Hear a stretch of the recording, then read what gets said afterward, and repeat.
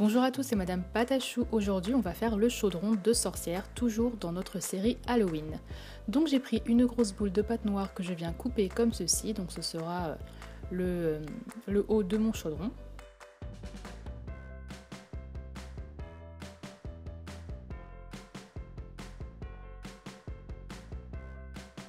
Donc on vient le mettre en forme.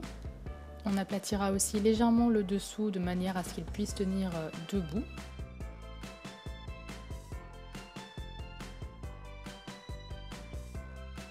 Ensuite, je viens faire un boudin toujours avec de la pâte noire que je vais disposer tout autour pour faire le bord du chaudron.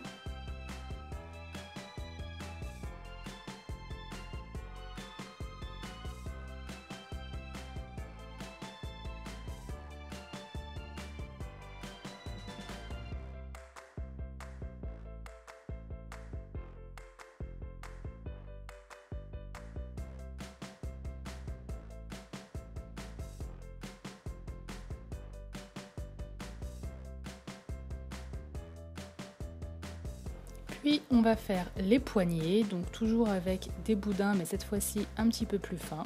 Et on vient faire des cercles. Donc pas besoin à ce qu'il soit très parfait, qu'il soit très très rond.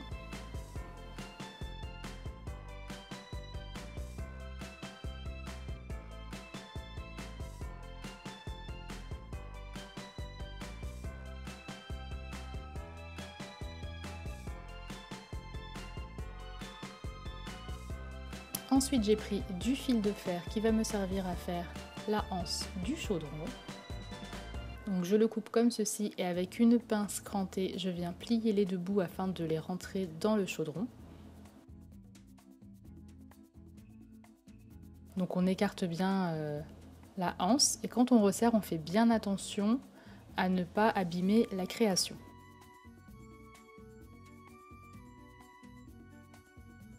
Ensuite, je vais faire les petits éléments qui vont euh, dans le chaudron. Donc là, j'ai fait un petit toast, donc vous pouvez en faire autant que vous souhaitez. Je vais faire aussi des yeux. Donc ce sont vraiment des créations et des formes très très simples. Donc je vais faire des yeux de plusieurs couleurs. Je vais en faire un jaune, un vert et un rouge.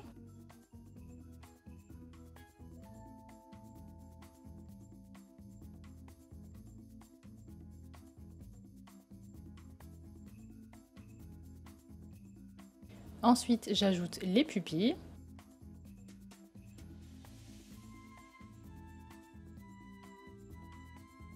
Et voilà pour les yeux. Ensuite, je prends de la pâte verte que je vais faire en espèce de coulis pas trop liquide, que je vais disposer à l'intérieur de mon chaudron de sorcière. C'est un peu le, le gloubi-boulga euh, du chaudron de la sorcière.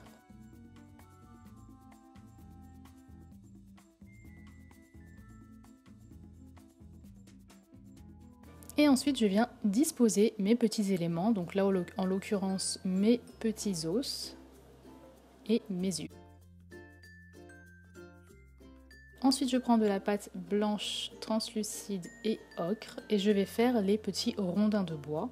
Je prends aussi de la pâte marron que je roule autour de mon premier mélange et que je vais réduire en canne plus fine pour aller avec la dimension de mon petit chaudron. Donc je vais donner très rapidement une illusion de bois en faisant des petites rainures plus ou moins profondes un peu partout. Et je texture aussi légèrement le côté des rondins.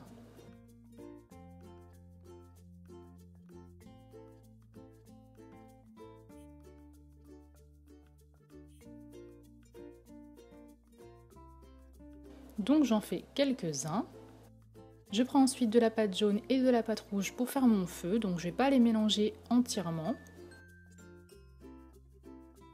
Je vais les passer ensuite plusieurs fois à la machine à pâte pour obtenir un, dégradé. Donc peu importe le dégradé que vous obtiendrez, ça marchera puisque c'est on veut juste un peu avoir la couleur du feu. Donc j'aplatis ça au rouleau ou à la machine à pâte et ensuite je viens découper des petites formes de flammes.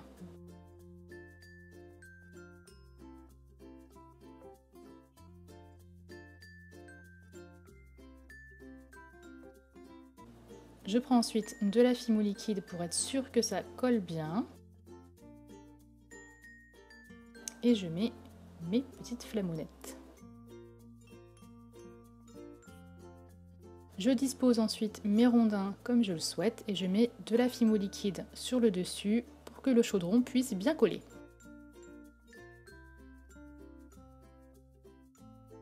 Je mets ensuite tout ça au four 30 minutes à 110 degrés et on va ensuite passer aux finitions. Donc j'ai ajouté un petit peu de peinture jaune et rouge pour donner un petit peu plus de mouvement euh, aux flammes.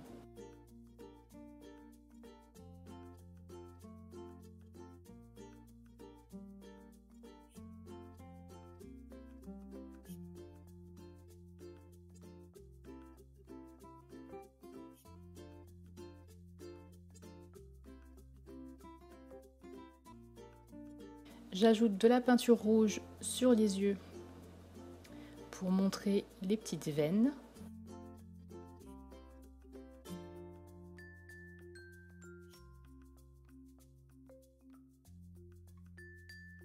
Je salis les os pour que ce soit un petit peu plus cracra.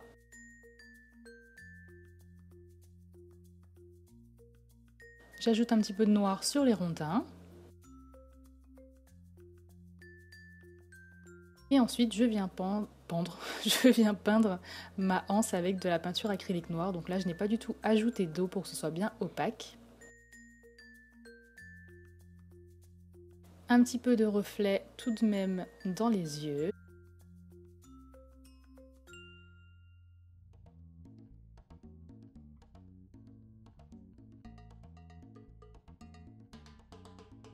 Et je viens terminer par peindre mon chaudron. Donc là, je vais peindre le chaudron, la couleur des yeux et euh, mon gloubi-boulga euh, vert.